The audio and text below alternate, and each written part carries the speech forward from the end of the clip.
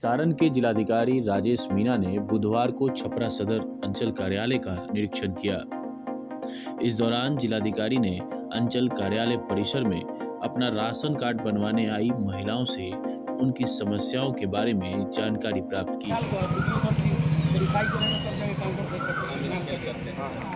Ration card क्या कराना देखो। तो भर ऑलरेडी है ना राशन कार्ड आपका? तो इसमें से आ जा रहा है। हटाना है। हेलो। हो जिलाधिकारी ने अंचल कार्यालय के सभी कर्मचारियों का परिचय प्राप्त किया और उनके कार्यकलापों को जाना।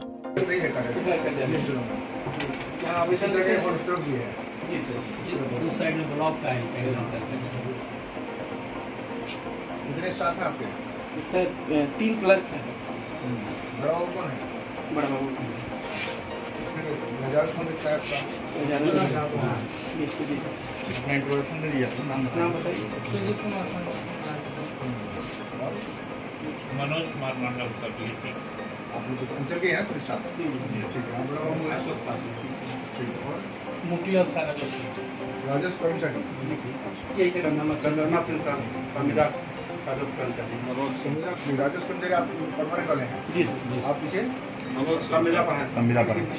निरीक्षण के उपरांत जिलाधिकारी ने कार्यकलाप में प्रगति लाने हेतु दिशा निर्देश अंचलाधिकारी सदर को दिया।